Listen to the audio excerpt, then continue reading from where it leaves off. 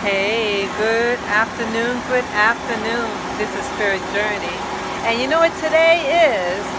Today is autumn. It is September 21st, 2017. And I'm out and about wearing my autumn colors, my green, my orange. And uh, yeah, I'm just about to walk my dog. And here they go.